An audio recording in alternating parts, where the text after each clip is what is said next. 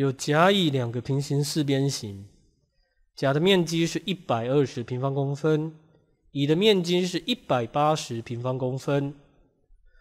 若两平行四边形的高相等，且甲的底是四十公分，请问乙的底是几公分？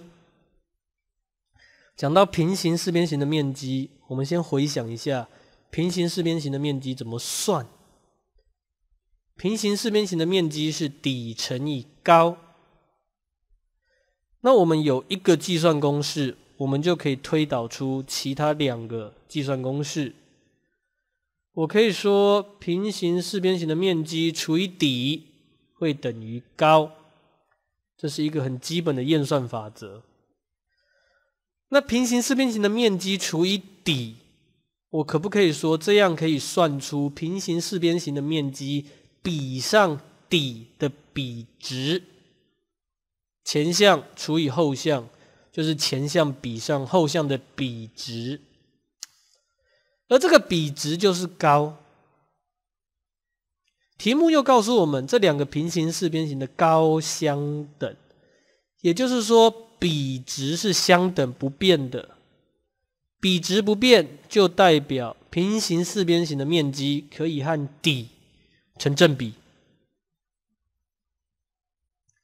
既然成正比，那平行四边形的面积变成多少倍，底就会变成多少倍。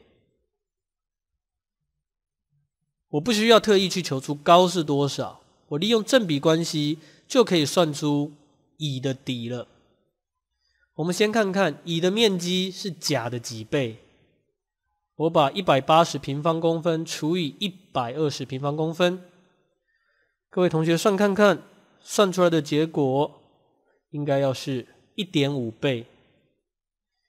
面积变成一点五倍，底也会变成一点五倍，底就从四十公分变成一点五倍，四十乘以一点五，答案是六十公分。所以乙的底。会是六十公分。